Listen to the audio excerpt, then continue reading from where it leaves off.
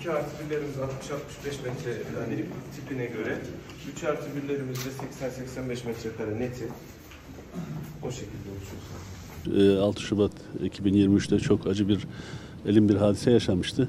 11 ilimizde çok e, büyük bir deprem, 100 yılın depremi, belki 1000 yılın depremi diyeceğimiz bir deprem hadisesi gerçekleşmişti. E, Adana'mızda bu etkilenen 11 illerden birisi.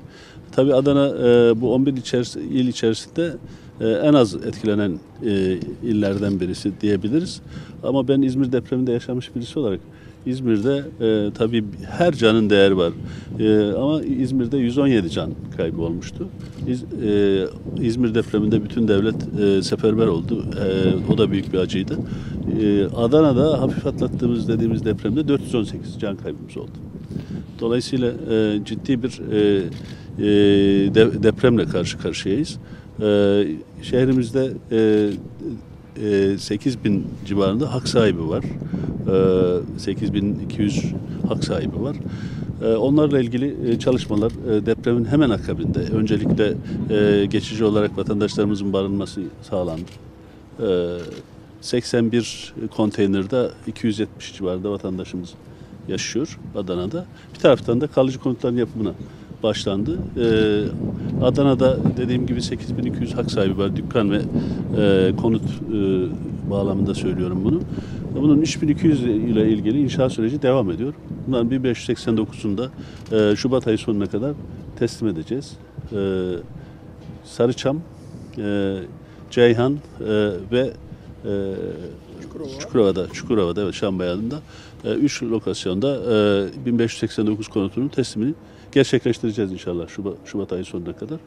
E, şimdi de e, bu, bu burada e, gayet güzel bir e, ortamda işte hemen e, ormanlık alan dibinde vatandaşlarımızın e, villa olarak inşa ettiği bir bölgede e, depremzedelerimize yapılmış konutların bulunduğu noktadayız. Burayı da inşallah teslim edeceğiz Şubat ayı. Süreç devam ediyor. Ee, Adana'da e, biraz e, e, geriden geliyor gibi gözükebilir ama biz tabii bir de arkasından Kozan depremini yaşadık. O Kozan depremi de hak sahipliğini tespitinde biraz gecikmelere sebep oldu. Yani o depremi de ilave ederek hak, sahiplikleri te- tespit edildiği için yıkımlar daha sonraki süreçte başladı.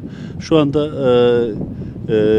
yüzde 43 mertebesinde e, yıkımları gerçekleştirmiş durumdayız. 2040 binada yıkım devam ediyor. 690 binada yıkılmış durumda. E, 2040 binada yıkım süreci devam ediyor. Tabii Adana'daki e, yıkım e, bu 2040 binanın birçoğu kırsalda veya küçük ilçelerimizdeki daha küçük hacimli binalar. E, ha- hacim itibariyle e, yüzde 43'ü yakalamış durumdayız. Yani bu 2040 binada yıkıldığı zaman oldukça iyi bir mertebeye gelmiş olacak yıkımlarda.